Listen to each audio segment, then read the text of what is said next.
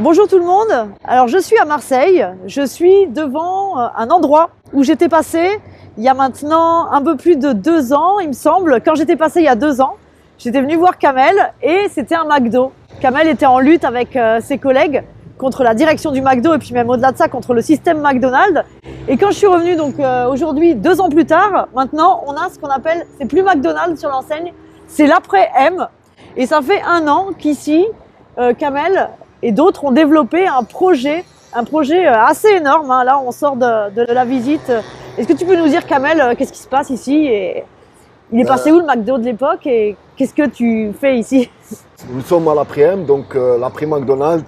Et quand on parle de projet, eh ben, on voit qu'il commence à rayonner ce projet avec des différentes couleurs. Et pour nous, ça a été un pari de ramener ces couleurs au sein d'un quartier qui est en souffrance et qui est délaissé, qui est pointé du doigt.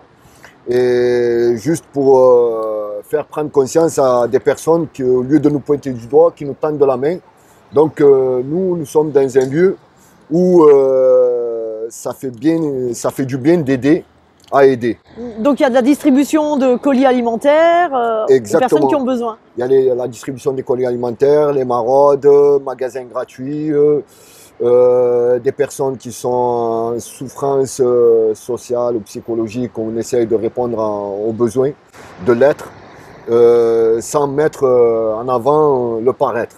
D'accord. Donc ici, eh ben, nous, on sait faire la guerre à la misère. Et tu me disais que depuis un an, donc il y a un an, a commencé la pandémie de, de Covid-19 et que ce que tu constatais ici, c'était pas l'urgence sanitaire, mais c'était l'urgence sociale surtout qui était criante. Ben, nous, on avait au sein de ces, quartiers qui sont, qui sont délaissés, qu'on appelle de, des zones euh, franches, où nous, on ne dit pas que nous sommes euh, des zones à, défendre, par contre, nous sommes une, zone à développer, et on souhaite euh, pouvoir combattre, comme tout le monde, les voyous low cost, la prostitution, le radicalisme par le travail. Donc ce, lieu, eh ben, il m'a aidé à gagner ma subsistance pendant 23 ans. Donc pour moi, euh, aujourd'hui, c'est tout à fait normal de rendre euh, ce qui appartient à la population, cette, euh, cette aide qu'ils m'ont apportée pendant 23 ans. Donc alors ici, avant, tu travaillais avec d'autres salariés de McDo. McDo a décidé, parce que en gros, euh, ils en avaient marre que euh, tu arrives à conquérir des nouveaux droits sociaux, des nouveaux droits sociaux, à remettre en cause le modèle McDo. Ils ont trouvé, on va pas revenir sur toute l'histoire, mais en tout cas, ils ont décidé de le fermer, le McDo. Et donc là, euh, ça a été décidé d'en faire un endroit où il allait y avoir des actions de solidarité. Et là, il y a des bénévoles donc, qui viennent.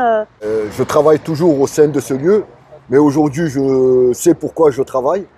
Je ne travaille pas pour que cet argent puisse s'évader dans les paradis fiscaux, mais par contre, aille dans les bouches des plus souffrants. C'est pour moi un lieu qui est extraordinaire, qui n'a pas oublié d'où il vient.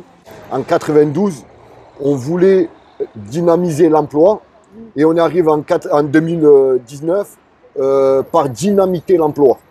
Et alors, quand on dynamite l'emploi dans une zone sensible, on peut que accentuer euh, la prostitution et euh, le radicalisme ou la voyoucratie, euh, comment ces personnes-là ou le système essaye de nous mettre euh, dans cette bulle, dans cette zone, dans cette souffrance. En tout cas, c'est un beau projet, c'est un super projet. C'est quoi là Qu'est-ce qui va se passer dans les semaines, dans les mois qui vont venir?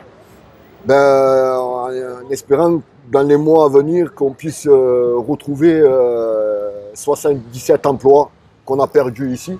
Ça, c'est notre bataille et de pouvoir euh, essayer de sortir euh, une banque d'entraide au fond du parking. Parce qu'il y a des personnes qui, sont, qui ont mis leur dignité à rude épreuve pour sortir de chez eux avec un sac vide pour venir ici, essayer de remplir leur euh, sac pour pouvoir amener de la subsistance à leur famille. Et nous, ces personnes font partie de nous, nous nous ressemblent, parce que c'est des êtres avant tout. Nous sommes dans une cinquième ou sixième puissance mondiale et on ne doit pas crever de faim aussi en France. Et on s'est rendu compte qu'en ben, France, euh, il y a quelques personnes qui, se, qui crevent de faim. Et pour nous, ça, c'est horrible. Donc, c'est pour ça qu'on monte la banque d'entraide euh, au fond du parking. Et demain, le restaurant, le bénéfice qu'il dégagera, eh ben, il ira aux plus souffrants, aux sans-abri. Et pour nous, euh, voilà, c'est notre devoir. Eh bien, merci Kamel et bravo pour ce beau projet de solidarité et longue vie à l'après-M alors. Merci, longue vie à toutes les personnes qui donnent de leur temps et du cœur et à qui ça fait du bien de faire du bien. Force et honneur.